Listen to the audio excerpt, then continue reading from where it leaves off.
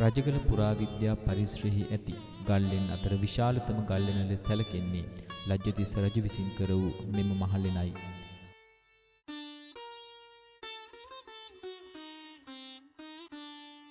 අදින් වසර 7000කට පෙර ආතුව මෙමලෙන ප්‍රාග් ඓතිහාසික මානවීන් විසින් ජනාවාස කරගෙන තිබූ බව 2016-2018 වර්ෂයේ ශ්‍රී ජයවර්ධනපුර විශ්වවිද්‍යාලය සහ පුරාවිද්‍යා දෙපාර්තමේන්තුව ඒකාබද්ධව සිදු කරන ලද පර්යේෂණ කැණීමෙන් අනාවරණය කරගෙන තිබේ.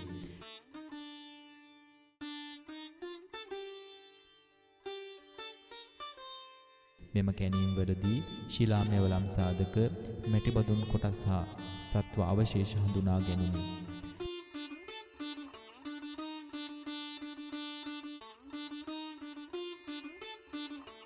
මෙම දැවැන්තලෙනෙහි ලෙන් ලිපියට අනුව මෙය භික්ෂු වාසයට සුදුසු පරිදි කටාරම් කොටවා සකස් කර ඇත්තේ ලජ්ජතිස්ස රජු විසිනි.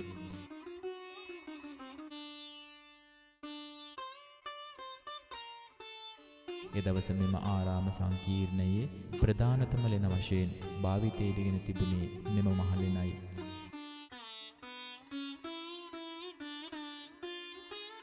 මෙම ලෙන අභ්‍යන්තරය බදාම තට්ටුවකින් ආවරණය කර එහි චිත්‍ර ඇඳ තිබූ බවට සාධක අදද හඳුනාගත හැක.